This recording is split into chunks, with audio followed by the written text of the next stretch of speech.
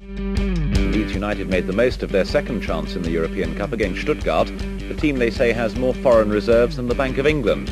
Leeds won 2-1 in Barcelona in front of a tiny crowd. Their hero was Carl Shutt. He scored the winner less than a minute after coming on as a substitute, and tomorrow's his birthday. That was a really awkward silence, wasn't it, for a minute then? Because like Prutz is sat here with no earphones on. We've all got earphones on. We can hear jingle, he can't. And it just gets a bit awkward after a bit. So, episode 46. And we're on location at uh, Pure Business Park. Is it Gildersome, this neck at Woods? Something like that. Yeah, so Gildersome, Morley. Gil- yeah, somewhere. Uh, so yeah, we're on location. As you might have gathered, we seem to be on location quite a bit, and that'll become apparent as to why in the coming weeks. But yeah, we're joined by uh, none other than former Leeds United player. And would you now class yourself as a full-time broadcaster, Prutz, or That it's quite a grand statement, isn't it, broadcaster? I read what they put in front of me on a bit of paper or what's above the, the camera. So, yes, along those lines, yes, I do it as, as full time as you could class it as full time. Yeah. happy days? Uh, I'm joined by Raggy. how are we doing? All right, uh, old Ben's here. Hey up. Old Ben's got a slightly different microphone, so if he comes in booming through your ears, I am ever so sorry. and young Ben. Hello. Uh, me and young Ben are sharing microphones, so if you hear any metallic clinking, it's me moving it around. So yeah, uh, off the back of our uh, interview with Jamie Shackleton last week, uh, a small apologies for the sound quality initially. We had a few technical gremlins due to the fact we had to lift up all our technical gear, take it to Elland Road, rebuild it, and we had about uh, three and a half seconds to do it all in before we had to start recording because he needed to be in bed. So, but no, uh, uh, Sick. yeah, uh, a big, a big, massive thanks to everybody who's uh, sort of give us any feedback on that. It was, it was a pleasurable experience, and I'm sure this one will be as well. So we're now up to episode 46.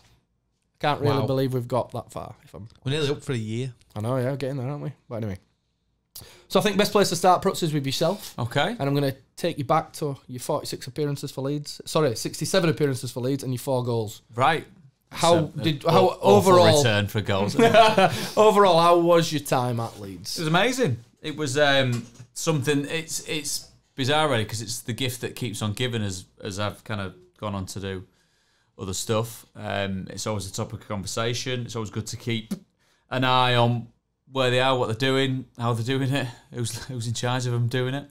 Um, and it's the more maybe it's rose tinted uh, spectacles, but there's uh, the more you look back on it as you get a little bit older, the more you appreciate it even more. And it was it was good fun. It was good laugh. I've played with lads there and, and formed friendships that, well, as much as football friendships last, have, have lasted a little bit longer. And um, it's is great. I mean, I still live. I'm, I live in up up in Harrogate, so you can't really get away from it. Saying that, I mean, you meet Leeds fans all over the place, all over the country, which is All over the world. Exactly. Well, it's just a fair reflection on how much of a uh, beloved club it is, but it, it's it's a proper big old fashioned tradition that everyone kind of knows and loves. You either grow to love it by being very fortunate enough to fart around in the shirt for a few seasons, or you um, or you or it's there from birth, and I mean you've got no other choice through thick and thin. And at the moment, it's pretty rosy viewing, isn't it? Yeah, it is, and we'll get into a little bit of that a bit later. 'cause There's like sort of two groups in there. There's like people who've in, got have had an involvement with Leeds and they love Leeds, or people who aren't and they just hate them. Yeah, we might mention some of them a bit later on because for the last for the last four, maybe five weeks, however long the Spygate saga, which we're going to have to touch on in this episode, so I apologise for our regular listeners, um, has been running on. We've definitely seen the contrasting views on, and I, sometimes you listen to some people and you think you're just blinded by your pure hatred for Leeds hmm. United. It's not even a measured conversation; it's just purely that you dislike Leeds. Was don't think there's been a it almost kind of presses like a reset button because there was one point I felt in the season where I thought there's a lot of people liking what Leeds are doing and the way that they're doing it, and then so then he like the manager everyone probably too nice. yeah like. Almost people are thinking like waking up in the morning going, what's the odd feeling? Oh, I like Leeds. and so they kind of gone, oh, well, this has happened as well. So they've been doing that, so it's fine. So that odd feeling I've got has gone. And, and the neutral's probably back more like that. But I think that's all right, Ben. It's, it's either absolute adoration. There's nobody's kind of ambivalent about Leeds, are they? They go, mm, Leeds are all right. They either go, oh, God, horrible. They go, yes, I love them to bit. Yeah, it's it's a funny one. Like, I've got a nine year old son, so obviously he's got friends who, you know, transcend many football clubs. And whenever I'm with them, I always get, yeah, we all hate Leeds scum. And I think, right, you're nine. Where have you got that from? And so I always say to him, That's why, from why, Barnsley. why, why do you hate Leeds scum? And normally they'll go, um, Because my dad or my uncle John said I've got to, and it's that kind of thing. And yeah, it is. It is a funny. Because in their lifespan, it, they've probably seen Leeds come from League One. Yeah, yeah. into the Championship. Oh, plucky underdogs, aren't they? Yeah, exactly. White Yeah. little man. It's Oh, quite them, like them, that. them big towners up there think they're a big yeah. club. Just come from nowhere. Look at them. So yeah. Uh, so how did you move to Leeds? Come about, Pruts? It was. Um, I'd come off the back of being on loan at Forest uh, from Southampton, and which was I'd gone there in the January of I can't remember what year it was, a long time ago now. Um, but Dennis Wise had asked me to come here in the January, uh, and it, I'll be honest, it was it, it looked like Forest were trying to get promoted out of League One, and it, Leeds were absolutely Leeds are trying to get promoted to League One. yeah, I, I, they were hanging. Yeah, they were hanging off a grim death, weren't they? Really trying to. It was, and it, it didn't look great. And uh, I just, I'd been away. I'd, I'd been down south for about four years. and I fancied a bit of kind of, um, bit of familiarity by going back to Forest. Um, I mean, saying that the year before I turned Wisely down, I failed the medical when um, who was in charge then? Uh, Kevin Blackwell was in charge. yeah. Uh, so then it transpired that I went back at a at an operation which I needed, which probably put about tw- two weeks on the end of my career, which was great as it turned out. And then ended up coming here in the summer, the summer when the most privileged bunch of waste and strays were getting ushered in the door. I mean, there's lads that we trained with for a day, never saw them again. A week, never saw them again. And like the ones that kind of stuck it out, got to the end of pre-season. Um, and it was good. It was happy camp, all that stuff about um, from the points to not being paid, all that stuff. It, it was all we all kind of knew it would be all right. Uh, and Dennis Wise was a great fella to, to work with, and as was Gus. Gus a real, as as you would see, life and soul of any room, and very um, um, gregarious and outgoing. And he was great. The, the the pairing of them worked really well. Um, for however long that lasted, two and a half months, three Yeah, months. something like that. Yeah. Was there not any like kind of concerns because there was obviously the club was in Mm. turmoil and there was so much uncertainty whether the club would even exist in, in that summer when There we wa- went down. I, I mean, didn't we all think that the like the kind of at the pity stomach that they'd be all right? I I just couldn't see it going completely to the wall Mm. as much as it from the, when you hear latterly how bad it was, um, and you look at some bigger clubs that's probably happened to in the, in- the interim, or as big clubs that's happened in, in, in the interim, then maybe it was a bit closer than was being let let uh, on, but. As ever, as footballers, you bury head in the sand. You, you trot out all the usual cliches about it's only matters on the pitch and all that type of stuff. And truth be told, at the time I was a, I, I lived. Um, I mean, I didn't have any kids. You know what I mean? I mean, you kind of significant others of similar age take care of themselves, don't they? But when you've got two that you've actually brought into the world, you kind of think, bugger, I've got to look after these. now." Um, so um, maybe there was a sense of fearlessness on our part that it was it was all going to be fine, and it and it was, and it was it was just it was great. The, the minute you kind of touch down and start, you see it in pre-season or you go abroad and all that type of stuff. It was just great, and the, and I knew how big it was, having grown up in Hull, just down the road. Um, so there, there was no there was there was no chance I was going to turn Dennis down again because he threatened me the first time for turning him down. So I thought best wise not to do it again. Excuse the pun. Yeah, I mean, for me, them seasons, I, I look back fondly. To be fair, I didn't particularly at the time because, Mm. unlike you, I didn't share the optimism that we might survive because everything that were coming out was that Leeds United are gonna they're gonna shut the door and Mm. put a, a note on it saying you're all being made redundant. Sounds familiar. But I was Um, going to say it's that's, the that's very relevant. it? it was sort of the same as we've had in the last few weeks that oh we're going to get points deduction and and you sort of you think well they, they can't do that but oh, they might because you never know but yeah Leeds were I think if you look back at Leeds were never going to go and disappear I think that what, from my point of view, I mean, I, I don't know the first thing about running a football club or how much money it costs because it looks like it costs a hell of a lot, doesn't it? Um, but I always thought there'd be somebody that looked at it and thought that whatever it is is a viable option because the history going back a couple of generations, but also probably the history that we all grew up with and the, and the players that we came across that very good players fighting at the top end of the Premier League in Europe, the kind of stuff that big football clubs are made on and attract people that are daft enough to put money into football Yeah. clubs. yeah, yeah, I agree. Actually, look at how obviously I was a, was a little bit younger then, so I was A pessimist. yeah, I was a little bit more scared of everything in the world. Um, but yeah, I can remember like my first game was like '94, and then transcended through the Champions League era, which I was very lucky enough. I talk to my son now and say, "Oh, I saw Real Madrid at Elland Road and AC Milan and that," and he looks at me like I'm lying to him, which I'm not. Um, and and then like it all became a bit of a blur. And I, I woke up in Yeovil thinking, "Wha- what's happened? on earth. How and the it wasn't hell? pre-season. Yeah, how the hell have we got here? What, yeah, Huish Park, and, and it's just horrendous. And thinking, what what's really happened? But when I look back at the minus fifteen and you know all the turbulent times, I also look back quite fondly. um, I was lucky enough that I made quite a lot of the games them them couple of seasons because work kind of changed a little bit, and there was a real feeling like we're starting to see now, or we have seen this season of us against the world type mentality of. Was there a you bit of a novelty as well when you go to places that? Are I think so initially, but then I think bit when we found it really hard to get out of there, the novelty three wore off. years later, like- oh look, they're wheeling that fucking ball out Yeah. again round Hereford. Exactly, Brilliant. yeah. For God's sake. Yeah. Cheltenham's nice, but I don't want to keep going. yeah, there. get me out of here for God's sake. But um, yeah, it was it was yeah, it was a novel. It was a novelty, but I think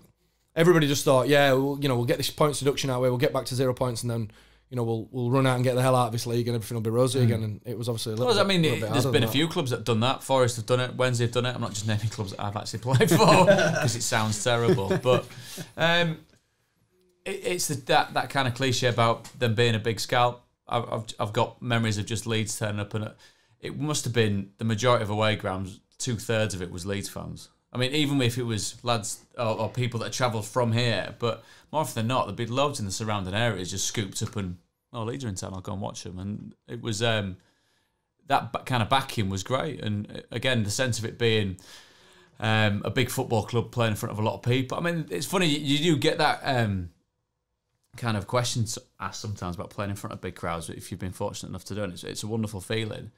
Uh, about being nervous, anxious, that. You said not, not really, because it's just it becomes a lovely noise. It's it, it's less of a lovely noise when you're playing crap and you and you lose it. But give me playing in front of 10, 15, 25,000 people as opposed to two and a half when there's that one fella behind the dugout who just batters. You can hear every word he's telling you. But it, it, it's about, it's the kind of, the feel of being at a big place and it, that it matters. Not saying it You matters say to more people, at this, but um, uh, it means more, but it matters to a lot of people at the same time. I was watching Chelsea, uh, Man United last night. Why? Because Root- there were no on a Monday Root- night. uh, who, who on earth were you rooting for in that game? I just wa- wanted to a. Sinkhole. Up a sinkhole opens up. They were either that or um, some something Great about bitch trains. sewing bee one last night, I think, weren't it? So yeah, but then there were one bit. Um, I think Hazard. I think he ran the ball out, and then there were a Chelsea fan. And it- it- this Chelsea fan looked like quite close to him, and he sort of said the, definitely the words "fuck off" were in there. and I just saw Hazard turn around, and uh, he it's like Hazard just wanted to tell him to fuck off back. and so like you say about like playing in front of twenty thousand people, and oh well, what forty thousand at Stamford Bridge, but then you still get, Still the, get the one, yeah. one or twos that are. Yeah, and I, I mean, I, I- it's it's a bit of a digression. It's a different debate, but in that sense, um, and as we've seen, lines being crossed over the course of the season at Chelsea a couple of times. Um, there's there's that. The, the one thing I've never understood about that is that real recoil and horror. If he did say it back to him, you Yeah. can't. Well, yes, you can say that Yeah, to yeah. him. Yeah, Just because you're human money to doesn't you're going and absolutely it's like someone. And it's, I mean, it's, I mean, like I said, it's a bit of a digression about the interaction between crowds and. Uh, I mean, God forbid one player reacts to somebody Yeah. doing something like giving it the ear or don't celebrate in front of the fans. Why? They've been battering it. Don't, don't even think about taking your shirt off as well. what on earth are you doing? It's just completely ass about face, I think. No, I, have to agree. I mean, I always remember one interaction at Leeds Huddersfield Town, which is obviously a feisty derby, Hmm. not for next year though. Um, and um, I was sat on the halfway line in the East Stand, and Gary Roberts, who were playing for Huddersfield at the time, he's got a fair set of listeners on him, hasn't he? He's, you know, he's, he'd make a good double for FA Cup. Anyway, he's uh, players stopped. He's sort of on the touchline, and this rather rotund gentleman outside of me stood up and word to the effects of. Hope there's not a fucking decent window. You're going to take off with them. And in fairness to him, he just turned around and went, "Nice one, sit down, fatty." That's his goal. And the guy just applauded him and Yeah, sat yeah. down. And I thought, yeah, that's you know, Exactly It's class. Yeah, Yeah, exactly. If you're going to dish it out, expect to get it back. I mean, Chris Wood's a prime example at Leeds in, in, in the recent years. He was getting some pelters for missing chances, and then he scored an overhead kick against Fulham in the 91st minute, 92nd minute. Cupped his ear to the cop, never looked back. Would you would you get dragged along? I can understand not like a mob mentality type of thing, but if there's a general kind of if you're watching a game, I, I mean, I get frustrated watching football matches, but if you're watching a game, you you've turned up, you've paid, and for some reason it feels like the same person's doing the same thing, which is not quite floating everyone's boat. Would would you get caught up in groans perhaps that, that things everyone understands it, Yeah, but everyone think so. understands a Oh, I misplaced can't- pass it's like oh god but if it's if it's a specific player who's trying to do the hardest thing on a football pitch but making it look even harder by missing and I presume from your point of view it must be quite hard if it's something that you're seeing I've called Leeds players dickheads a lot of times. this is when I was running late tonight where is that dickhead I think, yeah, I think it is easy to get sort of caught up along the sort of atmosphere of the game, innit? A, a lot Yeah. of the time, and I think a lot of the time, Chris Wood. We'll use Chris Wood as an example. Hmm. Before he hit that goal scoring glut, he was guilty of missing some pretty good chances hmm. on a regular hmm. occasion, and I think that the issue didn't come with particularly the way he was playing, the particular the form he was in. It was just that it's frustration that that's a chance we should have took. Yeah. Not not particularly that it's just Chris Wood. It was just a chance that you know could have changed the game or whatever, and mm-hmm. it just seems to be the same person that all And the as time. a team, we were sort of struggling as well because Chris Yeah. Wood weren't scoring them goals. Well, it was just before. It was it was around the time when Gary Monk was being asked about the, the team having an identity, if mm. you remember, and then he changed it and went sort of four at the back, and we never looked back that season mm. to, to pretty much. Do you the think- playoffs. until until the end of the Until the season. end of the Do you- season, yeah. I mean, when you saw when because that's the buzzwords out there like identity and philosophy and the- what what a team does on a football pitch. I mean, and, and it's not trying to like explode the myth of what coaching is, but fundamentally, it's eleven players that are picked, hoping that each of the players extremely well. Everything that you plan in the week comes off. So when when you say when we hear identity, I mean, I know that Bielsa's brought something to Leeds. Maybe it is an identity that, that is brought to Leeds, but from my from if you looked at it from the point of view of what has he done, he's made a group of players that were prone to inconsistency, more consistent over a longer period of time. He's also made them. This sounds stupid. Run around faster and more. Mm. The, the, the whole closing down thing at Wigan, where there's about 17 players chasing one player who's, who's looking around going, what the fuck is going on? I don't know where you've all come from. Yeah, we, we looked at a game a couple of weeks later where perhaps energy levels were down a bit, and I can't remember which team it was, but there's a player running through, and he's only got two players closing him down. So that that to me is is made it as simple as possible because you need the the further you get up the footballing pyramid, players, the superstars that get- paid the big bucks because they can do things with the football that not many people can. There's superstars that get paid the big bucks because the manager knows he's going to get seven or eight out of ten of them every single week. He can trust them, and trust is a big thing. So it seems to me what he's done is brought players on, given them something to follow, and it's reaped the rewards, isn't it? Yeah. yeah, I. Yeah. Yeah. hundred percent. I don't think you can see that with any any sort of team. I mean, going back to last night with Man United, that mm. they've just had 14 games under Ole Solskjaer, and they're like a different side, mm. all because of a. Well, they're putting it down to they trust the manager, the mm. manager trusts them, and that is is how you can break it down to something as simple as that. Mm-hmm. And that is football is a simple game until you start complicating it. Really, Which is what players tend to do. They like Yeah. to come. That's that's what it is, and it's almost a justification for being on the pitch and and, and sticking to what you're good at, and making it as simple as possible. I think is is a great. It's not a trick because he's not a magician, but he's a very um, hard working taskmaster. And I think it's great. You know, when you hear about oh they've done triple sessions and all this type of stuff, I'd be sat in the pub going, shit, yeah, of course they're doing that. They're paid handsomely. They've just had six weeks off. That's what you're going to have to do between now and the end of the season. And I, and I know it sounds slightly hypocritical when you've been a footballer yourself, but that, you, you never begrudge what is classed as hard work in football because get your head down for nine months, you could be a Premier League player come the end of the end of that season. And I think going back to what you say about fans getting on players' backs, I think as a as a lead as a Leeds fan base, I think the bare minimum we ask is just 100 percent effort. Mm-hmm. And I think a lot of the if you look at like cult heroes that that have come through the club, a- lot of them weren't the best technical players, but mm. they've got cult heroes because they came out and they gave 100 percent mm. every every game, and you knew you were going to get that from mm-hmm. it. And you won't get collective grounds. Yeah, you'll get the odd person who says, "Oh yeah, I know he's a trier, but he's just mm. not good enough," or whatever. But the collective Leeds fans as a whole, you know, whether they're at the game or whether on social media or anything like that, if a player gives it all, give it all, then then you don't have to be the best. no. I don't think that'll ever. It, it seems to me at least I don't think that'll ever change. I mean, I- what you're saying there, I, I mean, I can vouch for in the sense of I always played football a certain way and, and knew my limitations. And it's um, there's a there's a general touch wood. I, every Leeds fan that I've ever met who has a, a, the tiniest inkling of that I might have played for him um, has been wonderful. No one's walked up to me and gone, "Oh my god, you got on my nerve." the, might- they kind of they give you a, a- that kind of um, look of your eye, as as if say.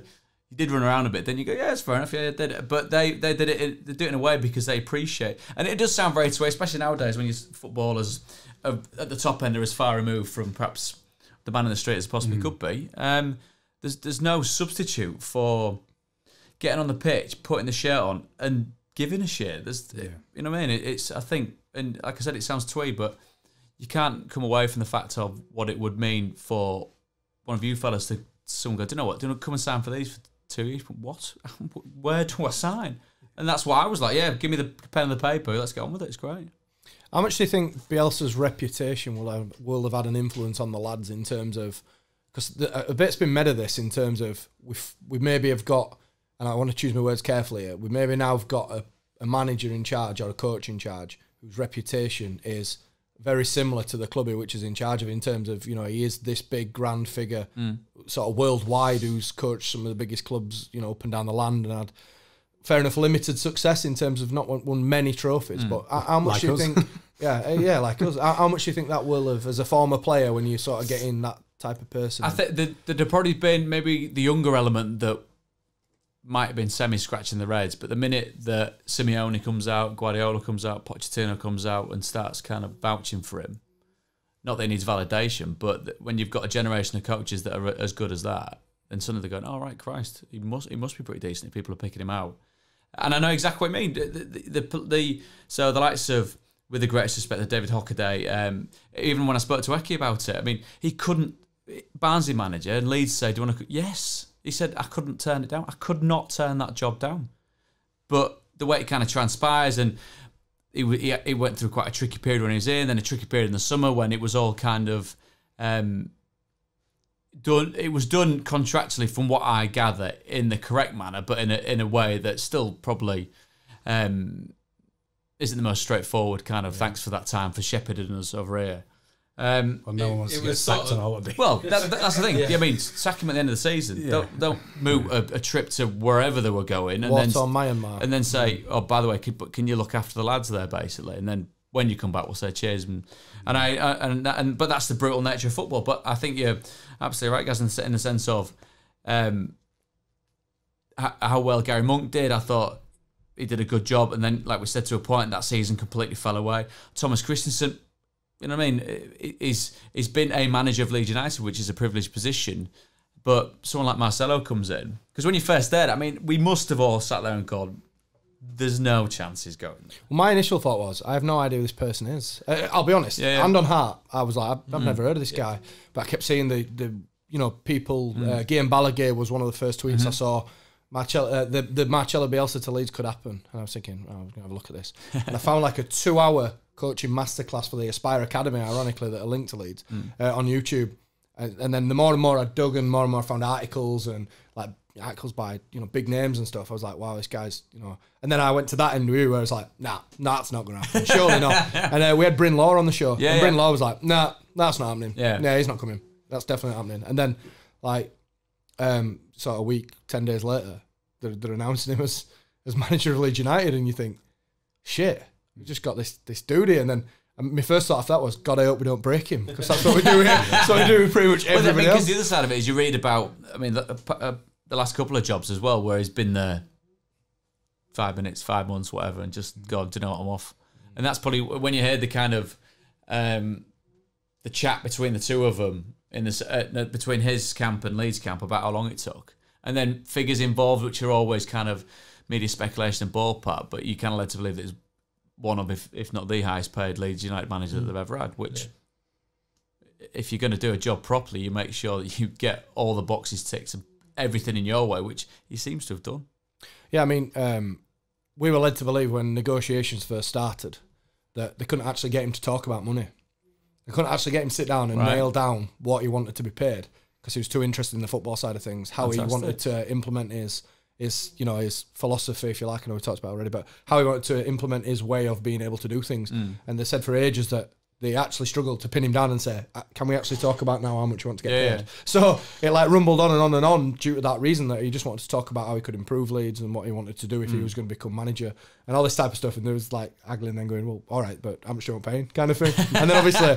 You know, being the type of guy he is, six million a year, we believe, led to believe he's on around some, some of that, that words to that effect. I think money, was was a That'd number. get you quite high up the Premier League as well from a wages point of view. To be fair, yeah, and uh, obviously we've seen I that. In, that, that he got for his whole team. Though. Yeah, yeah, I'm gonna say he's got like 25 sort of first scouts. team spies and yeah, um, and various other people, and that that kind All of the brings different disguises that he's got.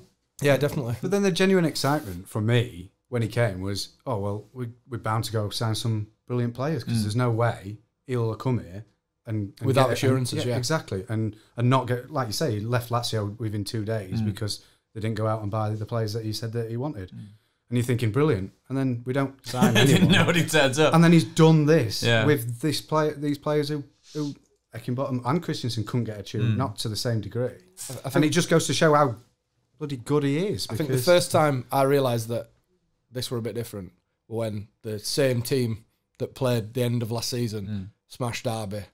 At a game where Derby wanted to try and outpass us like we eventually did to them. That was the first time I really sat back and thought, and shit, Stoke on the opening shit. day as well. you know, what, what has this, Superb, what has this guy done? You know what I mean? It was just, it was uh, Stoke. Initially, I was like, nah, it might be just a bit, Yeah, of, a, bit of a first season bounce, yeah, that, you know, Stoke big had just come stadium, down as Stoke well. shit, that type of thing. Uh, and then like Derby was the one that was like, oh Jesus Christ, would you know, he's Frank Lampard's derby. Frank Lampard. You, You can't, yeah, can't. discuss it in any other way. Well, I mean, so from that point of view, when you do watch the same players doing doing better things, which is as simple as that sounds, uh, what is it? I mean, better decision making. Do they do they appear like they're carrying themselves in a different way? Is there more Well, the- confidence? They're fitter. That's, a, that's a without a shadow of a doubt. Uh, the- like you say, training the- well. there's definitely confidence.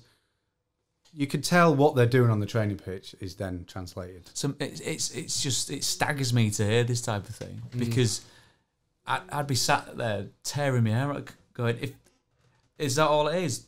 Working on a training ground to make sure if you went, I mean, Christ, if you turn up, whatever job you do, your boss goes, "What we're doing today?" But don't know, mate. Just crack on. Yeah, just do something. Give us a shout before you go, so at least I know you've been here, and then see what happens. and then on Saturday, we'll chuck you all together and see if we can do some of, of any form of kind of relevance. And I think um, it's a fundamental of football. You have to be organised. You have to be able to know what you're doing. I mean, regardless of it, I mean, the best one in the country, if not probably the world, at the moment, Guardiola.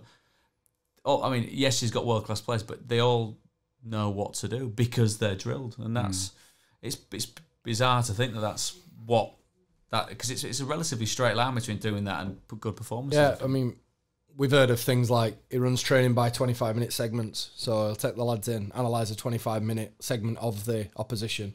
Then he'll go out and drill that 25 minute segment for 15 minutes or so, mm. where they'll stop it, bring them in, show them an iPad and, you know, show them the different movements, different changes, all this type of stuff. Mm. And then that's how the sort of build up to the game goes, where they'll work through the 25 minute segments. And mm. I mean, we'll come on to it in a minute because we kind of have to because we've got you here. But Spygate, I think the media briefing that he gave post Spygate, which I think me and you were exchanging a text on that exact night because I thought he was going to resign, um, was you know they just showed to the level of detail, and that was purely just talking about analysing another team. That weren't even getting down to the crux of coaching, the Mm. crux of how he gets his message across and how he sort of quality assures. Because I'm led to believe in training he doesn't really have that much influence. It's his team that that influence the training.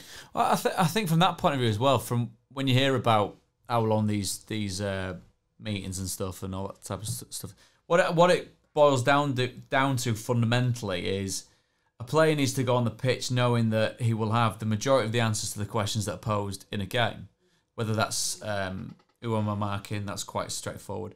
Where do I need to kind of be when this player's got the ball? A lot of football, yes, is off the cuff, but the structural side of it, of what a formation is, and, and from set pieces, which you can kind of break down a little bit, I think it gives it gives um, a player a certain comfort factor to go on the pitch because what it is is problem solving. That general consensus that footballers are daft. I mean, Christ Almighty, I have met some daft footballers, but I've also met some daft people in the street. But the Keith the- Andrews. Well, yeah. I was, I was going to come on to Well Keith and see, see how well regarded he's on it. Um, but the um, that that kind of what the they're being constantly asked questions at quite a, a quick turnover in a game, and they've got to constantly have the answers for them. Otherwise, a pass goes astray, or the or the split second tackle's wrong, or you, your man gets a run on you on a corner, free kick, whatever. So I think, and some of them are, are just pure instinct. Wayne Rooney is one that's just you feel is pure instinct. Yes, he's phenomenal football. Yes, he's he's um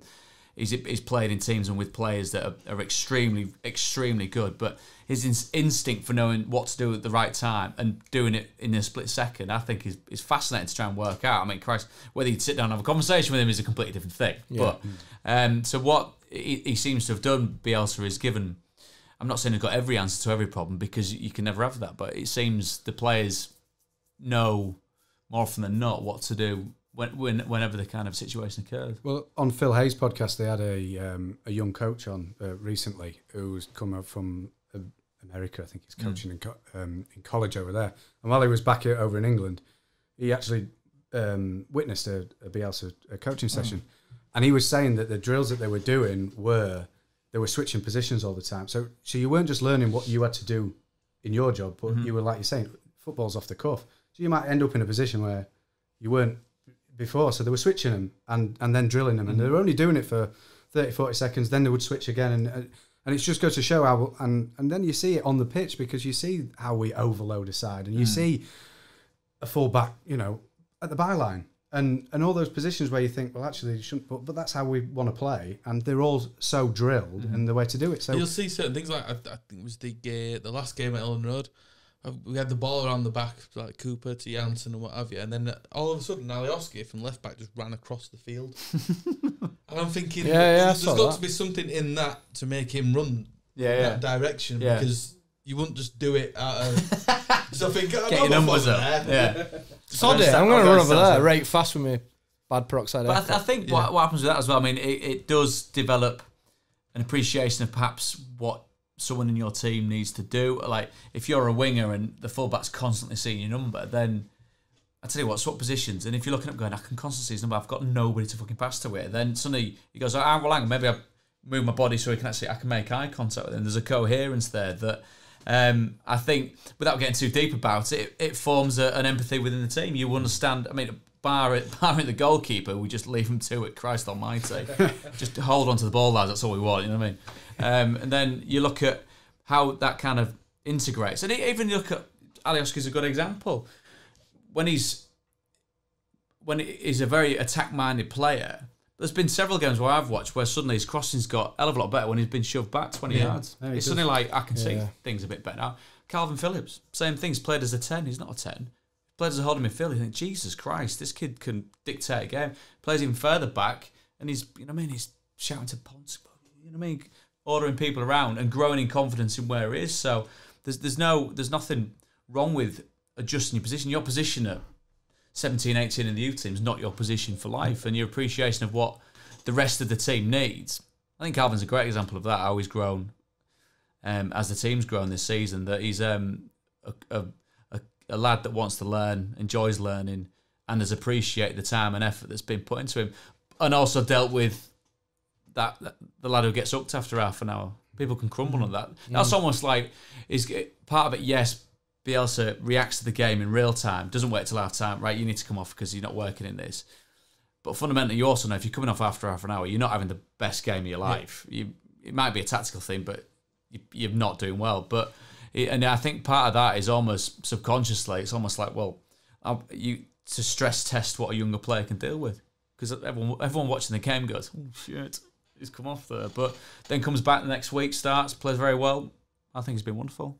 Yeah, I agree. We're, we're kind of reaping the rewards with Kalvin Phillips at the minute. I hmm. think if you if you ask many Leeds fans, he's probably one of the first names off off everybody's lips at the moment, hmm. particularly in that holding role, the number four, as Bielsa hmm. likes to call it. Is uh, I mean, we saw it against Swansea. Um, we touch on the Swansea game. He, he, he, he, he was a, a world different to what we've had in with Adam Forshaw playing there, and that's not Adam Forshaw's a, a bad player. He just doesn't have the same attributes as what as what um, Kalvin Phillips. But does. would you have said that about Kalvin a year ago, Absolutely not. ago? No, I, I, I, I started put Kalvin in that, that box of I'm not quite sure where he fits in here. Yeah, he's a youth player. Yeah, he's got talent, but Where where do we where do we harvest that talent? Uh, is he is he a ten who, who bangs free kicks in because he's done that in the past? Is he you know is he is he is he a midfield destroyer? What what is he? And then Bielsa's obviously recognised some certain attributes, pushed him into that holding uh, role. And It's a good point you make there, because I think there's a there is that default set, isn't there? Is a is is one is one of our own. You know what I mean? We've fostered and nurtured him, so inherently there's that bit more rope that you let him kind of play with. But there is a tipping point for that. He gets to 21, 22 and mm. he's not pulling up trees, and it's like he's been here too long, needs to move on. You know what I mean?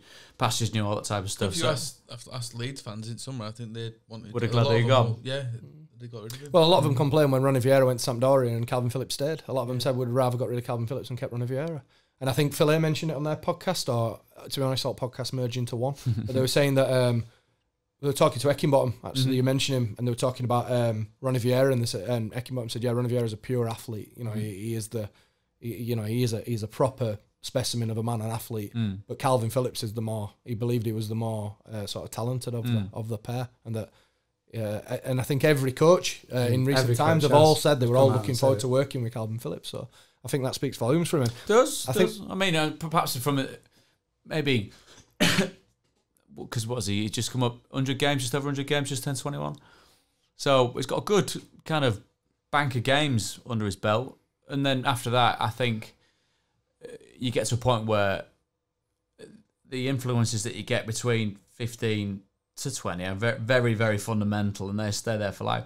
After that, your career's your own responsibility. Maybe something like that's, I mean, it, I've only very briefly said hello to the lad before and he, he very genial, lovely lad. I mean, when we try and, obviously the media side of it, which is perhaps what um, the, the, the higher up branch of what Leeds is, they're sometimes um, not the easiest to deal with, but um, players good as gold. He's always been one that stepped forward and said his bit, and um and, and been very honest about his position and everything that we've asked him. So I think that shows a, a sign, maybe a, a, a growing maturity in a player that's been quite mature for a long time. Yeah, and we've we've started seeing particularly this year where they've pushed him sort of. No, no, they've not pushed him. He's pushed himself a little bit.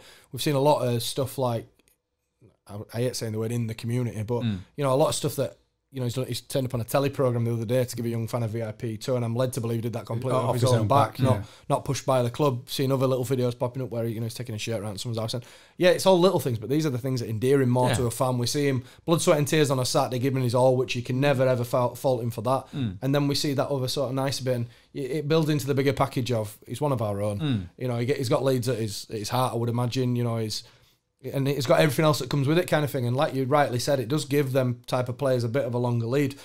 To the point though, sometimes where Leeds fans forget when it's time to cut that lead. Yeah, We've yeah. seen recently when Leeds hit a bit of a bit of a slump, bit of a bad patch. With the person playing in the ten weren't really doing it. Should we bring Alex Mowatt back now? The greatest will and respect in the world to Alex Mowatt, who's a fantastic footballer. Um, he's not quite at the level for Leeds just yet, but right. instantly go back to his Leeds product. He did Mm. really well for us in the time that he was in there in a in a failing team. let- Let's be honest. But instantly, it's let's bring him back. Mm. And I think sometimes we, rightly so, we give academy products longer and we give them a bit more rope because they are one of our own. But also, there is levels to this game, and and, and the lads will ultimately find the level eventually. And, and it's you know eventually, like you said, that tipping point kind of runs out eventually. I, I remember Um, speaking to Neil Redfern about it was Mo, Alex Mowatt and Lewis Cook that it was because uh, you'd obviously overseen their de- development for quite a long time, and I think uh, if I remember rightly, I- and I hope I've got this the right way around, and, and it's no slight on what Redders was saying about either but he was more convinced about Mowatt being a Premier League player than he was Cook. Now, they both kind of blossomed at the same time. I mean, slightly different attributes, but both very good on the ball. But what I what you saw with Cook was the type of pace that sits quite nicely in the Premier League, especially in midfield nowadays. Mm, I mean, if you're not big and powerful, you've got to be quick and very good on the ball, which he, he, he is. I mean, it's unfortunate that right now he's obviously dealing with quite a long term injury, but um, it's just it's just a me- it, he's so that was said at a snapshot in time. Maybe with the with the Vieira thing, it was said at a snapshot in time. He looks the better player, but then they all develop at different times, and and you and you see, and that's another thing that you got to applaud Bielsa for. You said earlier on about them not getting players, but then when things have kind of hit a bit of the buffers with injuries, I mean, you get. I mean, the amount of lads that they chucked on, it's like, Christ, he, he looks no more than 14. What on earth is going on? They're getting younger and younger and younger. And the only way you'll find out if they're any good, chuck them in front of 20,000 people. And some will just go, my God, this is not for me. But the majority of them, from what I've seen, have been fine. We, we've dealt with 40, with Roofe now, 46, 46, yeah. Unbelievable, isn't it? Injuries this year. Unbelievable. and it's just been next, like I say, next man up. Mhm. It doesn't matter. They, whether they come through the academy and never played for Leeds and the, you know they're thrown in the bear pit of Elland Road, which and the expectations there this Yeah. year, and it's sold out every every week. They've all got the attitude that it doesn't phase them, Mhm. and they're and they're all like you say drilled to the to the same as the first team because I believe they all train with the 1st Mhm. team as well. That's And they're just- imperative that they and do. they yeah. get and they get and obviously Bielsa trusts them that they'll go in there and do the job. Well, we we got Jamie Shackleton on last week, and obviously seen him play a lot of times, but never been that close to him. And uh, What somebody was it else- like in, in person? fantastic, Yeah. great lad, honestly, Really really, really good lad. Um, but like somebody tweeted us afterwards from a photo porn saying he looks like he should be at home playing Fortnite, and and uh, I, he had a picture of my son, and he actually shocked me Yeah. his sort of his stature. But then he came on um, against Swansea, and you know he, he looked like one of the best players on the pitch for the short period of time he was on there. Mm. And he, he- to me, and it, it's a it's a grand sort of uh, compliment for the lad. But I'd hold him in a similar realm to Lewis Cook. He has got very much similar attributes to Lewis Cook. He's got that low centre of gravity. He's got a great turn of pace. He's, he's, he's good with the ball. He don't waste it, and he's very direct. And you know, it- it's just he, he, he- he epitomises what we've just talked about. You know, all right, that that one's broke. Uh, wheel out a child. Then how do you feel being a child? I'm not that young. I'm not that young. do, what do you think that this endless, what appears to be a sort of conveyor belt of youngsters coming in and filling sides can continue? Yeah. the way it has? Why can't it? Why But can't they it? were you know? saying the the side. So one about Cook and and Mowatt and all them, and then there was a side. I don't think it's maybe the one the 18s that are coming through now Mm. are supposed to be better than some of them players. And if that's to continue, then I'll have just a squad of really good players. this is another thing that Bielsa's brought within, though, isn't it? Is because when it when we were first coming about, he's already got the blueprints for Thorpe Arch. You were looking at developing Thorpe Arch, and with that comes developing young talent. And I think that's one of the main kind of things that he wanted to do. So, you know, for whatever time he's going to be with us, whether it be a year, two year, three year, I think we'll reap the rewards long term, and we'll see this pla- player development come through, mm. and we'll see the best of it yet is yet to come. I think. And I think it's also testament to Victor Orta's job as well, um, because when this new ownership took over, the academy was an afterthought. It had been running to the ground, and there was massive gaps in Yeah. in player talent there. And they've gone out there and bought quite a few um, of those players that we're now seeing some of them coming into the into the first team. Yeah, I mean, we bought them for twenty three levels because we needed to because we weren't producing them. Because that, that that must have felt like a bit of a red herring then, because you look at the the position of, of or his title of in the football club. I think perhaps us in the media were guilty of looking at whoever he brought in for the first team, and there was a kind of like a tranche of players that you kind of scratching your heads a little bit, going, not really heard of them, don't really know what they're going to do, to be honest. But again, may, maybe maybe we sold them short by saying, well, these instant ones, and maybe you, you get, almost fell into the of uh, the trap of not necessarily what a fan would think, but you see someone coming for money, you go, come on then. Yeah. If if you're mid twenties, you should go straight into the team. That's why Leeds United bought it. Not bought it to fanny around developing, but maybe the better job that is done away from the kind of gl- the spotlight is bringing players through of a certain age that are bedded in and know exactly what to do. Hundred percent, and you know he doesn't have a perfect record with the first team Mm. that plays, and, and you know you don't see as many from the twenty three, so there might be some that they've brought in who, who haven't made the grade. Um, but ultimately, I think some of most of his signings for the first team have been good, Mm. And like and we're really reaping the rewards from the academy. And like I say, he had to do it was a big rebuilding job for that academy. yeah, definitely. I um, mean, over the last two years. I went down and watched under 23s at Wednesday last Tuesday, which is a bit awkward when it happened. Um, and you look at some of the talent coming through, and the, the, the 23s play the same way the first team do. Pretty much identical, really, in, in the way that they try and try and sort of play the game, if you like. But looking just to name a few, Alfie McCalmont looks like a proper player. Um, Robbie Gotts looked impressive when I've seen him. Uh, there's a young lad called Bobby Kamwa. I'm very impressed with him. He, I think he was under 18s last year, and he, he's come in and you know, again, you know, just going back to Ben's point about, uh, I think it was Neil Redfern who originally said that the crop below the crop that kind of broke through now are even more talented than the sort of the crop coming through now. And like we said, the under 23s are starting to see them rewards. Plus the people he brought in, Jordan Stevens, he brought in from Forest Green, Ryan Edmondson. A lot forget that he came in from York. You know, he's a Leeds fan, but came in from York. Um, And Uh, Dave Davis. The kid Pascal Struijk, I think, has got a, a, a good like potential him. of a career in a game.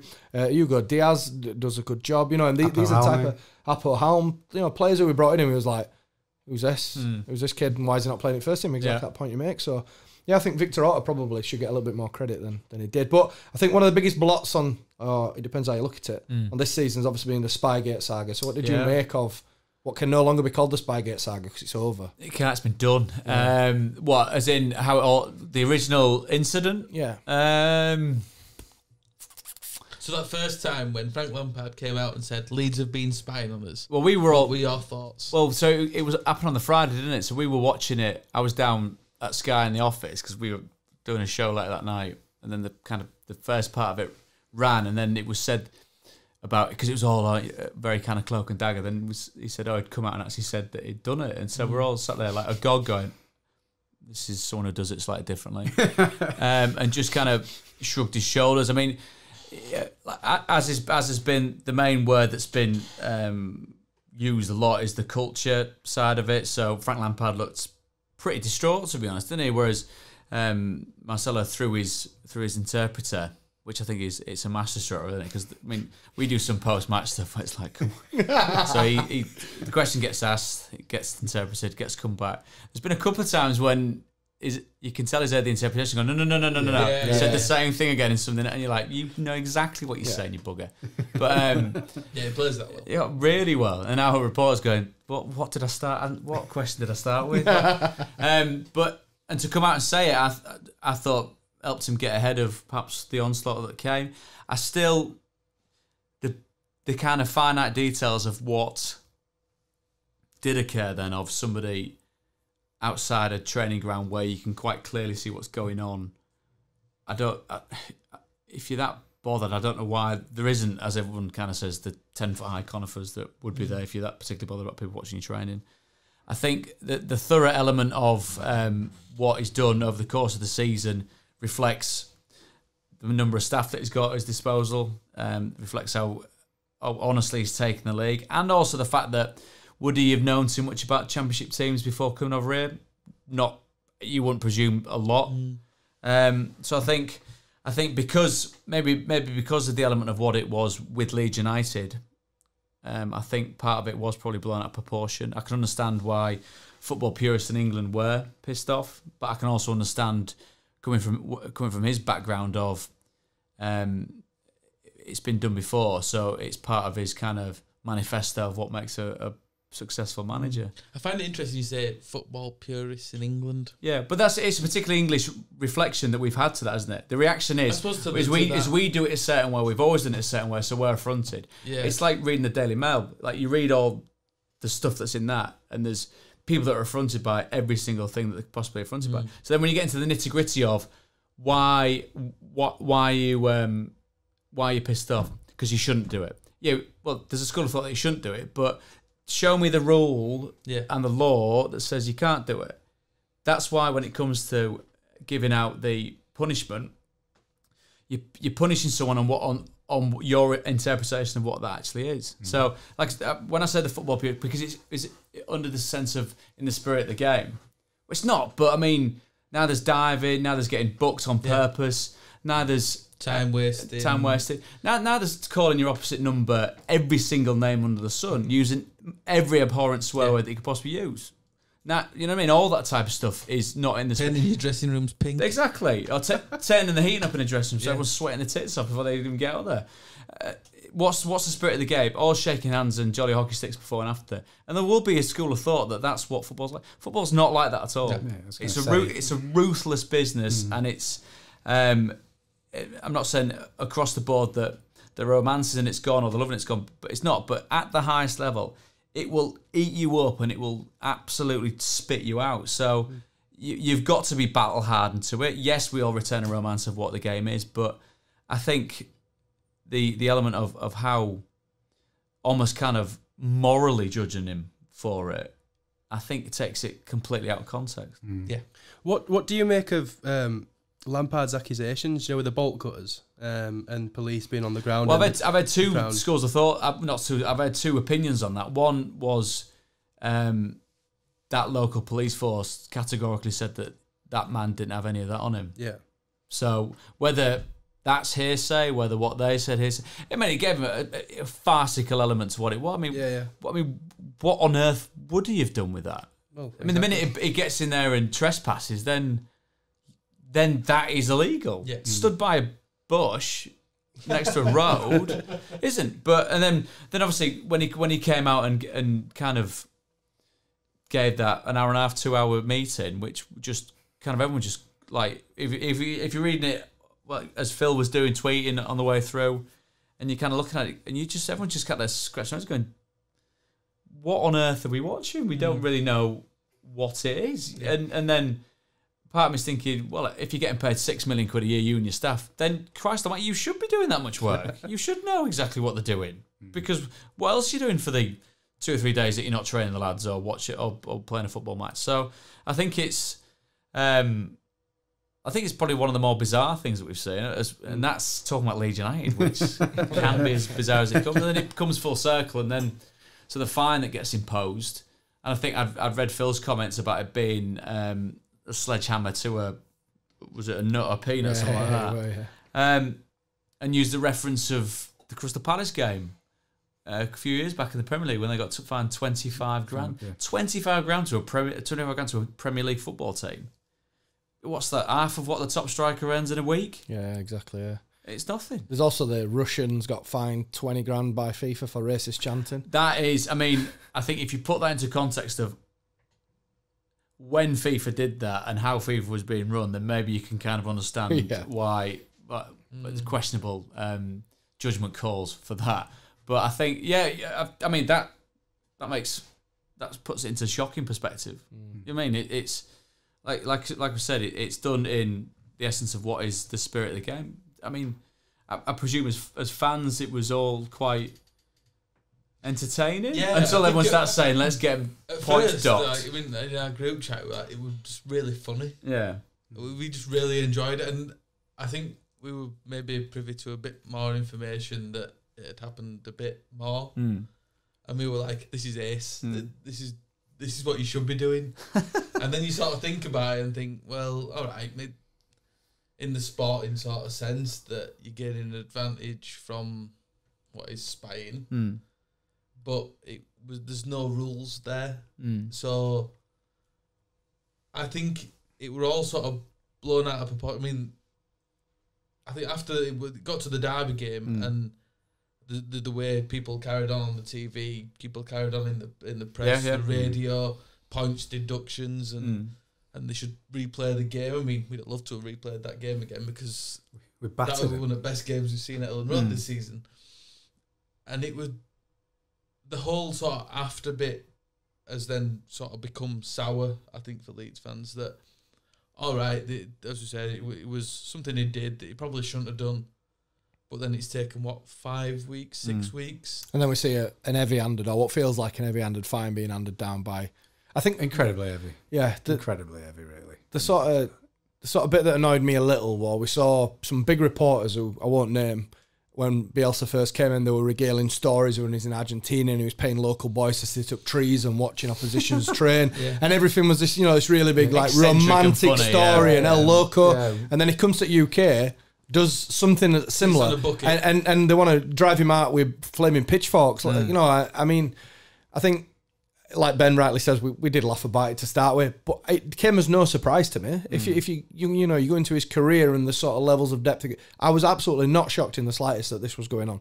Um, however, I, I did feel that some of the media sort of chasing up of Bielsa afterwards, and some of the stuff we saw from certain media outlets was nothing short of shocking. If, I, if I'm really honest, before- shocking in some cases. Before the the Spygate thing, there was uh, Moose from from Talksport who was saying um, it was just like a joint thing, Norwich and us, that because they've got foreign managers and a few foreign players, that he wouldn't like to see us in the Premier League. It was Because it's we, bad we for was English football. Yeah, we was taking up a spot in the Premier League that an English manager could have. That's basically what he was getting at. That was his sort of Well, sort that of doesn't story. really make sense. No, does it? not really. And then you no. take it apart, you look at all the like we've said, all the young players we've played, Hmm. all the I mean, we've not really got that many foreigners compared to other teams. There's five English managers or British managers in the Premier League, and in, in the problem in the Premier League? Why why are Portuguese and mm-hmm. Spanish, Brazilian, whatever, whatever managing the Why Premier have League? why have why Man U gone for Solskjaer when Sean Dyche is available? Mm. Do you know, Yeah. just that, that's Yeah. the, that's the ridiculousness of that comment, isn't it? You know what I mean? Why why ain't they why aren't they going for? But I think I think to make that. I mean, the horse has kind of bolted with that. I mean, I don't I don't quite understand what the what the point is. I mean, it's yeah, it'd be great if everyone lived or came from within five miles Yeah, of Elland Road, but those days are long. yeah, gone. that, that's not football anymore. No, No, it's not it's, modern no- it's nowhere near it. But we all know that. We all understand that. We're all Mm. happy with that, aren't we? That's Yeah. just the way the modern world's gone. And I think, um, and you can't. I mean, it, it's the, the intangible of, of what he's done of really kind of bind together a city and a, and a fan base. That's justification enough so far. And I think, I mean, to put it into context, you talk about Derby and you look in the run up to that Derby game, all that type of stuff was going on.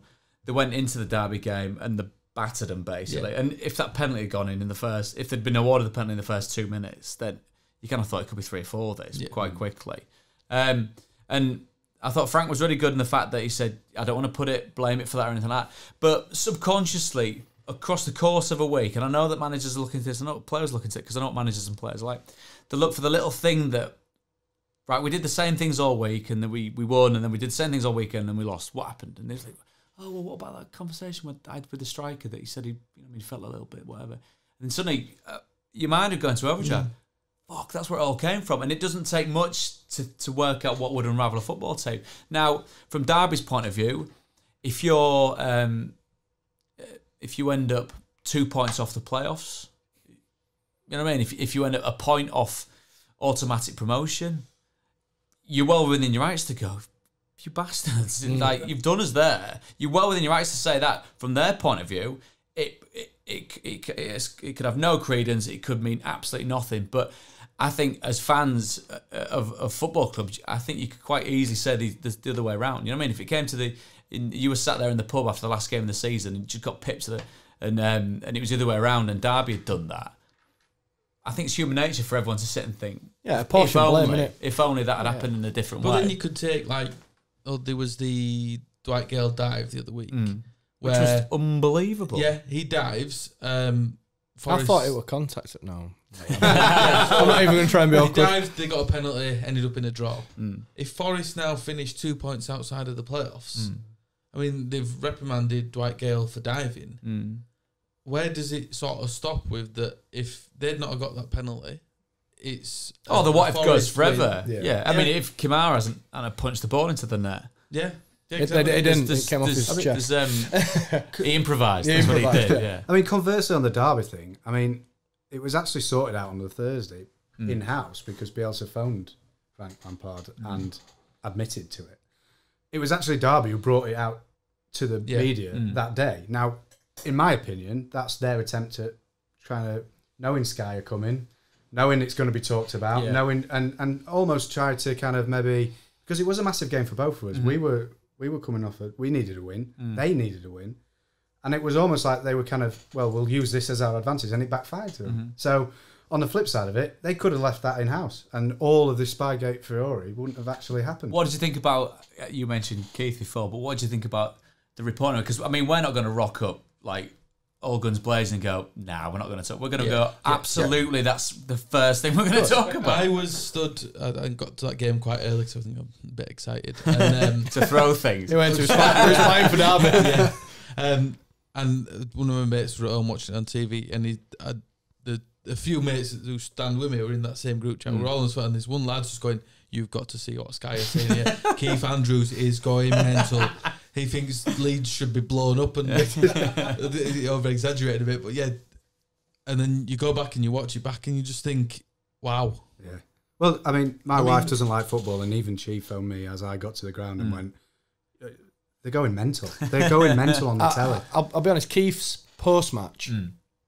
was bordering on ludicrous. Mm. To be honest, some of the stuff he was coming out with, it was like through gritted teeth. He said it was a great Leeds performance. Then went on and gave ten reasons why we weren't going to do anything else other than that great hmm. performance. And I think he got caught up in the passion of it all. And I think probably him as an individual, the fact that probably he sees that as cheating, hmm. and it bothered him that much that he thought it was cheating that his his passionate response to it came hmm. out in what was utter nonsensical rubbish, if I'm honest. And, and it were like he, he came out. I think one of his famous comments was, uh, "Leeds will not do out this season. Look at the bench, and we just won. We just battered, played Derby off the park." And it was like, okay, I, I, I see the point he's trying to make, Yeah. but he didn't make that point. It Yeah, just yeah. it were kind of like he were just like he was unloading a little Yeah. bit there. But I mean, that, that's from our point of view. That, that's I. The divisive part of what it is an opinion is obviously this is what we're all saying. Everyone's got different opinions, but I think um, the thing I say with Keith is as well is he he's got a, he's got his opinion and he's got a way of saying it.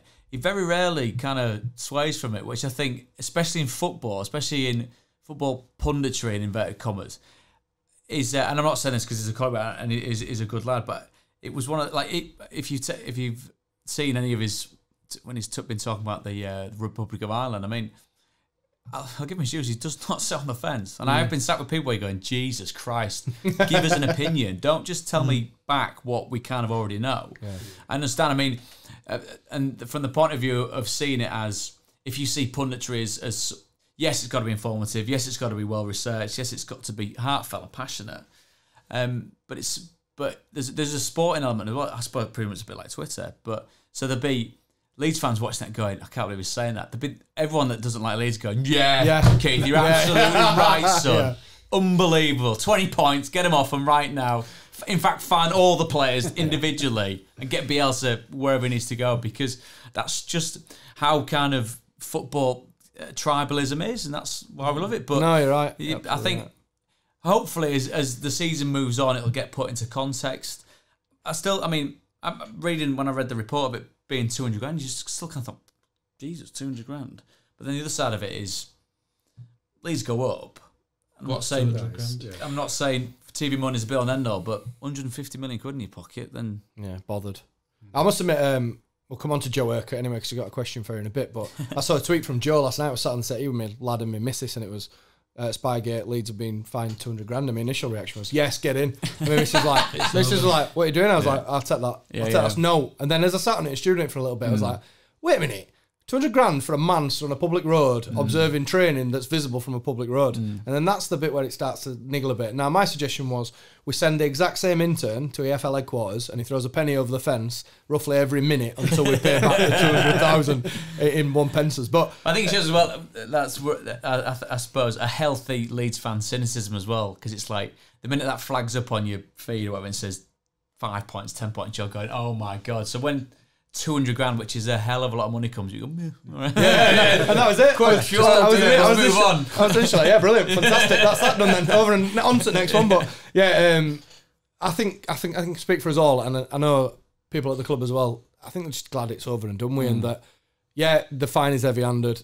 I'm not surprised with the lead cynicism involved. Um, at least now we can concentrate on the remainder of the Yeah. season, 14 cup finals essentially. But um, moving on ever so slightly, um, we get asked for some fan questions. Yeah. So bang that on Twitter uh, with the hashtag AskPruts. What I also discovered is somebody else had you on a show and used AskPruts. Uh, and I read one and it was like from 2013. Right. Like, what hair product do you use? In like 2013, I was like, what the fuck? Where's that Jesus. from? So uh, here we go. Um, there's always a, a crazy one. Would Pruts rather fight uh, a one Pontus Jansson sized Berardi or a hundred Berardi sized Pontus Jansson? That is bizarrely very good. Um, I'd go for. I think yeah. I think whatever concentration you get Pontus in would be quite a tough proposition. I'd go for the Berardis. I think. Right, that was from Josh Townsend. Um, I did filter out one that said, "What would you prefer on your fingers? What's it residue?" And I stopped reading after Yeah. that. Um, Before balked. we've already talked about Keith Andrews, so I'll not mention what Max Dixon asked. um, He's got magnificent hair, by the way. Yeah. Hair products. uh, Salop White, uh, if he can ask, uh, if he can answer this question, ask him about. Uh, we've already talked about that. Uh, Neil Burrows. Even before Spygate, fans felt the club was ill-treated by the EFL.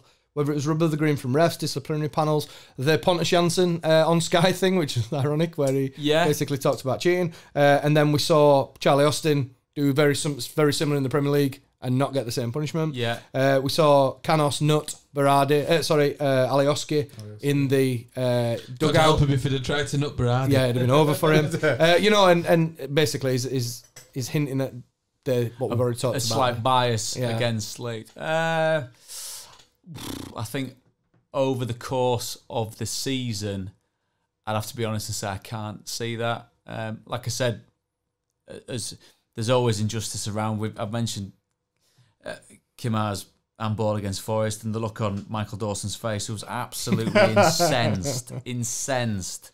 Because to watch it, everyone's going, "That's he just punched it in the net." Wait, So that's I know that's one instance. You give me three or four that uh, it all evens itself out. I believe. It's funny you said that, and you know, talk about the Leeds bias. My friend's a Forest fan, and Yeah. ironically, I had him working with me the day after, and he was absolutely mental about it. And I went, "Look, Les, it, it evens itself out over the course of the season." And I gave him that exact party line. And then you, then you walk away from the, the, conversation. have the like, boot being on the other shoe. I don't Exactly, want the blood. Anyway, uh. Joey Morton, uh, which is an interesting one. David Sommer at work today, so I'm guessing he works with David Sommer, told me about when Prutz bought a tray of shots at the Christmas party, went into the toilet and replaced the shots with uh, potentially piss before handing them out to the rest of the players. I'd like to hear his That side of the story. of- let's be honest, that's a lot of piss. There's a lot of piss going on there. I can, I can, It must have been the first one of the night. yeah, I can categorically say that's not something I'd do. I mean, So- there- there's that kind of what your class as banter, but Bants. that if I, I'd have trouble not knocking someone out for doing that. Yeah,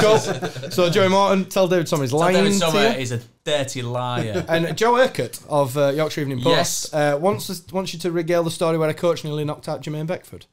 a coat. Oh, sorry. I think meant like he got run over. No, no, Um, thankfully not. there was we were doing some fitness training with Gary Mack, and he brought this fella in who worked somewhere in the Midlands where he, it was it must have been Coventry. So he worked with a um, rugby team around there, big hard fella, um, and um, so we've come out in the afternoon to do whatever form of whatever it is that we're doing, and um, we've all walked up and said hello to him. He's, he's, he's already got the arse with us just for being footballers. Casper's walked up and said hello, and his this geezer's told Casper to sod off, basically, like hand outstretched, and like, all right, that type of fella then. And then um, we started doing some round um, Thorpe Arch, like warming up, a bit of laps, a few sprints and stuff. And Jermaine's at the back with Tresor, I think, like chun- chuntering away about summer. I can Eh, imagine them two being a bit of a handful. Oh. I mean, saying that, I mean, Jonathan Douglas, he he he wasn't scared of giving his opinion, which was Yeah. made, made for some quite funny confrontations with managers.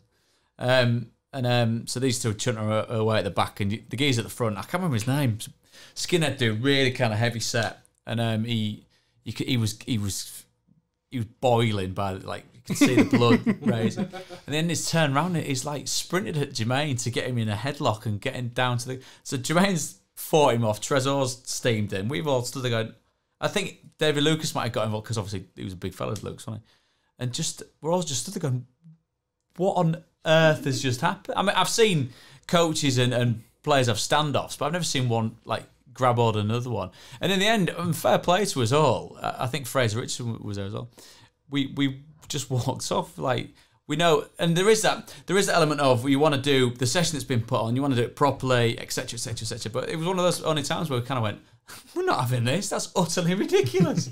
so we all walked in, and um, and again he's still bouncing outside, boiling, and then Mac has come down and kind of got the gist of what's gone on.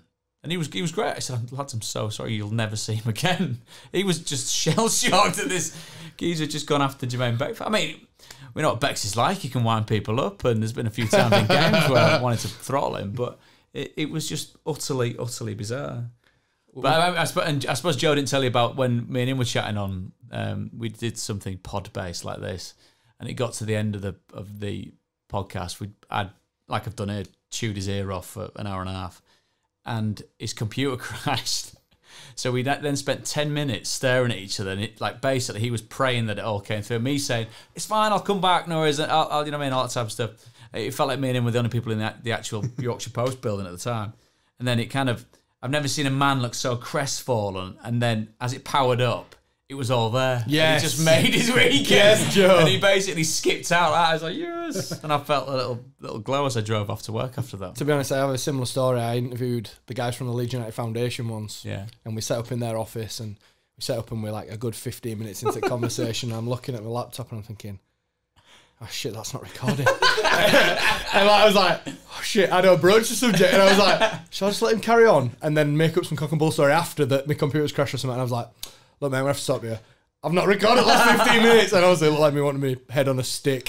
so, like, we literally went back. And then the 15 minutes we had recorded went into like a four minute segment where we just skimmed over everything and carried on. So, yeah, I do, uh, I do have definite um, sort of. Um, Sympathy for Joe having funny though, had many technical issue. Uh, me and Adam Pope famously had a table collapse midway through a podcast, and another Yeah. time a guy came in and started playing darts right outside of where we were recording. Really? Yeah. Well, I presume it was in a So, working men's club. When, when I when I interviewed you previously for the Trust Cast, Yes. yeah, we uh, we used to record at Working Men's Club. You was the first one where we moved to Eiger Studios. Right. And the reason we did, we were sat in this little room because we got kicked out of our normal room. Yeah. So picture the scene. There's me, Popey at the other side, roughly where you are now. A you guys around. Ben's there, and uh, the door opens outside me. In walks a guy with a pint. Looked at me, gave me a very knowing nod. Walked over to the side, Pops clicked the light on, down. popped his pint down, and just started throwing like 180s. and I was like looking at him while I'm talking to Popey, and I'm thinking he ain't stopping. And he just carried on. He was like in background, it's like a. And then somebody else came in. Oh, all right, John, good day at work. And I just said to Popey, I said, "Look, mate, I'm really sorry, but we have to cancel." Gives it ni- it's nice and authentic, though. Yeah, it? it's definitely it had some rustic charm without a shadow of a doubt. But uh, anyway, so that kind of brings us to an end of fans' question, and I'm gonna have to crack on a little bit because we have uh, overrun slightly. Uh, but moving on uh, a little bit, we've got um, our favourite um, segment. Not so much for me lately because I'm not doing very well. Raggy's predictor. So Raggy's predictor. So for you pros, this is where we attempt, Yeah. and I noticed the word attempt to predict the upcoming Leeds United game, and yourself gets the guess for Mickey Pico's guest of the week. Right. Okay. Well, you'll be pleased to know it's currently still in the lead. Yes. So you've got big boots to fill. Uh, Cool. we're gonna I can ruin that quite quickly. we're going for a double week this week. Uh, what with the QPR game next Tuesday, so we might be recording, so we may as well predict it now. Um, just to recap on Swansea, we all went for Leeds victories. Uh, Luke Ayling basically ruined old and young Ben's dreams of getting it bang on by giving away that late penalty. Because it ended 2 1, they'd gone 2 0. Uh, so no one got 2 1, so we all pick up a point. So scores on the doors are um, Mickey Peacock's guest of the week, still in the lead on 35. Young Ben 32, myself on 30, uh, old Ben 30, uh, 26, and Gaz still bringing up the rear on 25. I'm not behind. I'm on your point now. Point. I've been in point Well, for a while. Yeah, I know. Marathon, not a sprint. It's not getting very good this time. I started Absolutely. Uh, so we're starting Saturday's game. Uh, Leeds Bolton. How do we see it going? Start with you, Pruts.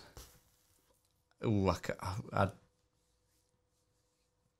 I can only see a Leeds win if I'm terribly honest. And I know it's terrible hope so. times for Bolton, but I'm sure Leeds fans listening to this don't care. Not at the moment, no. Um, so you want a score as well? Score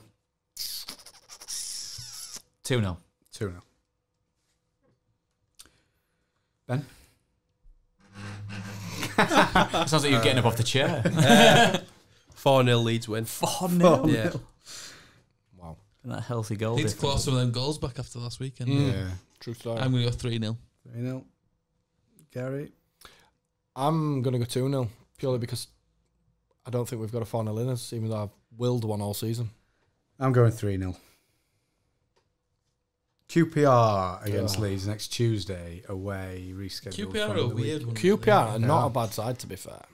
It just They're- depends they're which like a Jekyll QPR and turn Hyde. up. They're like a Jekyll and Hyde. But they will absolutely want to spoil us. So they'll come fired up, definitely. Nahki West Wells Brom plays tonight, well against us. They got West Brom tonight, yeah. Um, Well, Is it, was, is it at. it's it's at QPR. It's at QPR, It's at QPR. It's actually 1 0 to West Brom, as you mentioned that. So you Yeah. could, could be um, fatigue could play play a part in this, couldn't it? Um, Could. Well, yeah, if they've played Saturday, Tuesday, Saturday, and Mhm. Wednesdays or Tuesday. Next, next Tuesday. I'll go Leeds to win down there, one two. One, two. Nice. Ben. Yeah, I think 2 2 0. How old is To old Leeds. Ben compared to young Ben? I'm 30 next month. Yeah, Yeah, don't look at. thanks. Right. young Ben, how old are you? 21. Jesus Christ. Depressing, isn't it? A 1 0 a 1 0 Leeds win. 1 0 Leeds win. Uh, a 1 0 Leeds win. 1 0. Hard fought 1 0, I think. I'm going 1 3. 1 3. Nahki Wells always scores against us. Shh. Always. So he'll get one. Yeah. Bolton then, Saturday. Should be a game we should be winning if we're going to, you know, Yeah. want to be up and up and about it. I think Obviously, they got a drubbing by Norwich at the weekend. Um, a fair. We won't, we won't get the same. Bolton as No, Norwich got. we won't. Definitely not. Um, so yeah, we can only hope on that one. Everybody going, I should imagine. No. Yep. No, Oh yeah, it's at home. Yeah, yeah, I'm good. Yeah.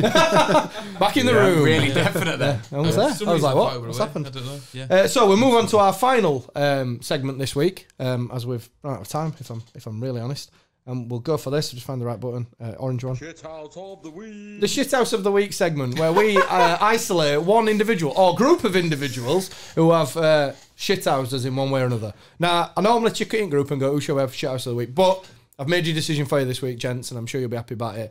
I'm going to go for a collective EFL shithouse of the week. Yeah. Happy with that? I can't, I can't Happy argue against that. Happy no. with that? Happy with that? Happy? Yeah. Cool. That's that done then. Uh, we'll try and get the trophy over to you at some point. They still might have it from last time they won it, to be honest. So They've had it a few times this year. and the time before They'll that, be yeah. getting a hat-trick ball They might be soon. getting an hat-trick ball soon, yeah. Um, so yeah, that's that's kind of shit house of the week. I think we'll finish off with you, Pruts, with a couple of final questions. Best player you've ever played with? Got to get the cliche questions in when you Yeah, have no, they're good. Um, I was fortunate to play in an under 21s team, which had a hell of a lot of good players that went on to do really well, and I kind of petered out. So it would have been- um, Joe Cole was at that age as good as I've seen, and John Terry, to be fair, he was. He, the fella that played for God knows how long for Chelsea was the same lad that pitched up at Forest on loan when he was 18 and 19. Absolute man mountain and I mean heading balls off people's feet and all that type of stuff. biggest character Um, or Joker, however you want to. Joe, yeah. However you wanna dress it up. It's Character seems to be the PC word, doesn't it? Yeah. Joker. Um, I mean, someone latterly that I've met who I crossed paths with and not necessarily worked with, Jimmy Bullard, which he does come across a certain ways, quite obviously very eccentric. Um, but I played with character. Jack Lester was really lively when I was at Forest. He was he was good fun. Still a very good friend of mine. Um, so yeah, from that point of view, there's there's I've met a lot of silly buggers, but they kind of fall into the mass of silly buggers that you meet. So you, you you touched on it earlier. When does banter transcend into you want to kick his head in? Oh, when if someone Christ brings trays of u- urine out, that would, Is that- is that it? Is that kind of the borderline, yeah? Well, I mean, I mean, I, I, there's hopefully several rungs before that. Yeah. Um, Has I there ever been anyone you've like they've done something and you thought I'm I'm going to kick your head in? Um, I've always, I mean, you, you you soon learn early on that you've got to take a lot of stuff on the chin Yeah. to get. um, I mean, I've had like shoes cut up and trainers drawn and all that type of stuff. Um, but I mean, stuff that I mean, in a normal environment is just utterly ridiculous. I mean, I've I've seen worse things than that, which um, are quite unseemly. But that's just, and I think the the generation of footballers I grew up with that kind of turned pro at the end of the nineties were coming off the back of it being quite crazy, but also before camera phones and all that type of stuff. So, Yeah. not saying that it was like like Sodom and Gomorrah at all, but it was it, there was certain elements of people weren't looking to get you to do anything anything like that at all. So you, we were just left to our own devices. But um, I think that whole like you say that whole banter type thing. Um, there's there's a lot of lot of that. And I suppose nowadays everyone's gear is too expensive to cut up, or if you Wimbledon set fire to, which I, you'd kind of see. There was it was I, I, I can't, there was um I can't remember I was working with the other week. Who it was Billy Sharp actually talking about um Rob Kozluk or Michael Brown. No, Michael Brown gluing Rob Kozluk's shoes to the floor.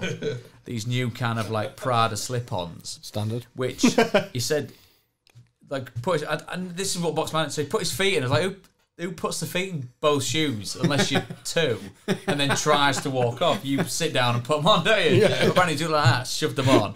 Went to walk and promptly fell on the ground, and then I ripped him up and said for ages on on the um, on the um, floor of the changing room at Bramall Lane, there was like the bottom end of these pair of shoes going to the floor, which I thought was really funny. So yeah, uh, so things like that, um, yeah. But anything involving Christ bodily fluid, I can very much do without. Yeah, I've, I've only got one. When I, when Is I it worse than that? I- yeah, bodily fluid was involved quite a lot. But joined military, I was like pre-warned. Um, you know, Well, military, I mean, when, when like you get to your unit, football or you, steroids, you can it? get ready, kind of thing. And I remember like I hid in my room, door locked for days, like don't come out. And I came out and I got stopped upstairs. There was two very drunk lads stood there with an MFO box, which is essentially a massive cardboard box. And he went, "Right, get in there. I went, what? He went, get in. If you roll a seven, you can get out. There weren't even a seven on it. Four flights of stairs. Right? And when I got out the bottom, I had to carry it back to the top. And they was having bets how many flights I could take before I got out. My God, Yeah, Well, I mean, standard. it was- Standard. It's well, I mean, it was, um, and I think things have changed quite drastically for the better. Because I was a YT at Forest, so I mean, you weren't kind of averse to being ordered to run around the track at Forest with either just your slips or I mean, and people just throwing stuff at you. Which, like you say, I mean, you, you say it now, and there's, I, I understand absolutely the sensitivity that comes with other people's experiences completely, but it was just seen as when you were a younger kid. It was again, it was like it was like stress testing, and it wasn't. I mean, some of it you probably class as bullying, but that's it was just the kind of way of the world. And you look, there there is a certain I say fondness. I mean, Christ, running around with people throwing stuff at you when you hardly got anything on's a bit bizarre, but. Um, it, it was it was just you know what I mean Character building. yeah, a lot, lot of fellas chucked together, and you know, what fellas like idiots, aren't we? Yeah, exactly. Christ Almighty. Definitely. Let me well, let me ask you first before you before we go on to anything else. I'll wrap it up. I mean, from a Leeds point of view, don't worry, I'm not going to ask him whether you've been chased around a football pitch by someone with no clothes on. But sat here right Too now in February, do you think by May that Leeds will be going absolutely bonkers and this place will be a party town because of one thing? I've been cautiously optimistic this season, to be honest. It, it's the biggest chance we'll ever get, I think, and it just seems that this year we'll, we'll do it. We'll get over the line. I, I'm more confident in this group of players that will just play to the final whistle in every game, keep fighting, and and the man in charge has just got them all organised. So I think we'll do it. Yeah. I'm absolutely terrified before every game. For partly what Raggy said, just with that, cl- it feels like we're that close. Although it's still quite, you know, 14, 14 cup finals, if you like. But this feels like even we talked about it with the Gary Monk era when we looked nailed on foot playoffs and then slipped away. But this feels like looking at our running, looking at Norwich's running, looking at what teams around us running. It feels like the best opportunity we're probably going to get in the last, uh, as long as we've been out of the Premier League Mm. But still, every match day is not longer a pleasant experience. I'll be honest. It, I have to lace myself with ale pretty much every game just to get through it. Ooh, no, like you said, it's uh, it's almost like a scary experience every Saturday now. It's that anxiety that builds, and it's almost a relief come half past five when game's finished, or misery if we lose. Um, but yeah, I think we'll go up. I think we'll go up automatically, and I th- if we don't, I do truthfully think we'd struggle in in playoffs. That's that's my problem. I think we'd struggle.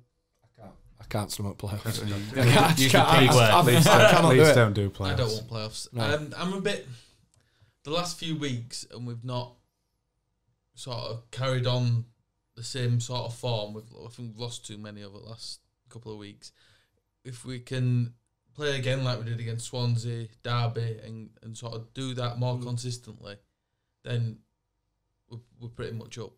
But I- it's just getting back to that Mm. level, which I don't think we've quite got back to yet. I will take some under 12 who comes in for whoever's injured. Oh, I'm, yeah. I'm, I'm balling the ball in the net every game for the next 14 games to get us a po- uh, three points. So I don't give two. It's funny that, tosses. it's 14 games. And, and I bet between now, between the end, of, between the start of the season and now, but that's flown by. And then you Yeah. you just think the next few months is Yeah. just going to be torture. What, what about you? I'm Prit? not, I'm not, I'm not taking like a, a sick pleasure in it. But I just think the, the way it's flown by, and then like you said, the reason you go there early season, you're suddenly going, "This is amazing, this is amazing," and then you, I bet you're skipping along Twelham Road Saturday afternoon. This is going to be great. What- The tipping point when suddenly, shit, we're top of the league. Yeah. We've been top of the league for quite a long time now. What's it like as a player in Um, those situations? I think the the only thing I mean, the times when I've been in a fortunate position to be that end of the table. I mean, the Leeds uh, season when we got to the playoff final, uh, Sheff Wednesday when we finished second and comfortably finished second after the, th- the thing that tipped it for us when we'd beaten. Um, Sheffield United, and then there was all sorts of Sheffield United stuff going on off the pitch, which affected them in quite a big way, and quite rightly so. And then we kind of meandered towards then, and then when I was at Forest when I was younger, and you you didn't feel it because there was no weight of expectation because you were just a young kid flying around. Um, and like I said, that kind of it felt like the space in between games went really slowly. Like when I think about being a Wednesday, and but then the games went by quite quickly, but you couldn't get away from it. And and the other side of it being at Wednesday when we were fighting to stay in the championship, and we eventually did on the last day of the season. And it was one of the one of the only games I can remember where things went absolutely perfectly. We pumped Boro, we were two 0 up after about half an hour, and I felt like this was one of the most straightforward games of football I've ever played in. Um, but it seemed like an interminable amount of time between January, February when it's all cold to that glorious day when it's mm. boiling hot. Fans are in the shirt sleeves, and you kind of all know collectively that it's going to happen. Mm. But I mean, fighting to get into the Premier League, I, I think it's it's phenomenal what's what they've done so far. The the the pessimist in, in, in you goes, you don't want it to be one of those seasons that fans remember forever, like our season where we got to the playoff final but didn't go up, and it is still fondly remembered. But there is that fundamental of well, I don't know, maybe what does last longer, that feeling or the actual realization that you've actually done something that stands the test of time. Whereas mm-hmm. if this team does it, if this squad does it with that manager, and everything that's sort of gone on, the injuries. I just think it'll be a phenomenal achievement. One of, one of the one of the I would say one of the greatest because there's been some fucking amazing times of this football Yeah. club, but one of the bigger ones of, of, in recent history. And for a generation of kids that are teenagers, they'll mm. go, Jesus Christ, we were there when a loco came over and we Smashed blasted the our way up to the Premier League. Yeah, So do you think they'll do it for? I think from what I've seen, when they're at their absolute best, yeah, I think they're going to get pushed. I think they'll all push each other. I think what Norwich are doing is phenomenal with the players that they've got. Um, what Sheffield United are doing as well, I Yeah, think, yeah. when they're on song. But there is always that looming shadow of, of what a Boro and what a, what a West Brom are. Yeah, West Brom's the one that sort of worries me just because of the players they've got, and and the way they sort of beat us earlier in the season. Hmm. Um, That was a proper off day, wasn't it? I mean, Yeah. that's you not, and I think I suppose the good thing is from a least probably not many times you can say that over the course No, of the season no. when you've had well, there's not been many teams, even if we've lost at times, that have outclassed us. I think maybe West Brom. Norwich. Norwich. you I don't think that. Mm, The Norwich game was a weird I one. The find Norwich game was a Norwich- weird Norwich one. just A seemed to get away from obviously early goals never help, Yeah. but it just seemed to drift away from Yeah. Leeds doing anything in it. yeah, I agree. And with I think what what I mean to to get up in a season such as this, you need to have things need to align. Yes, you need to work hard as we said off the pitch. You need to, to have good players, but uh, would you have said would you have a with the greatest respect known Timu Puki and b had him right now as the top goal scorer? Mm. You'd have gone. Sorry, Well, I, I don't see that at all. came out of roof. We sat here in the summer, and we and think there was somewhat about a, a bid Reading, from seven Reading, million moved to Reading. And I bet you were was true thinking, or not. But yeah, yes, go on then, million, yeah, I'll do it, yeah. Well, I said I'd drive him there. He- he- uh, yeah, I did, yeah. I think he, he fell into the similar brackets Kalvin Phillips, where he'd been around a little bit, not really done it. We didn't really know where he fit in, and if we needed to make money to buy other players, then we were open to that. But again, that's why Marcelo Bielsa earns the money he earns, and he's a Leeds manager, and we're not. Yeah. Uh, simple as that. so uh, that kind of brings us to an end of episode 46. A massive thanks to Prutz for coming down. My it's pleasure, uh, absolute anytime. class. It's been brilliant. Pleasure's Um, cheers to everybody who gets involved. Please retweet, like, share. Uh, we are endeavouring to get back live, but um, if we're honest, we're a bit of a homeless podcast at the moment. So we are travelling around a little bit uh, in any spot we can possibly get in. So big thanks to Get Your Media who've let us come down and record today, and a, big thanks for Prutz for coming down. So uh, that's it. So on to uh, six points in the next two games. I'll see you. See you.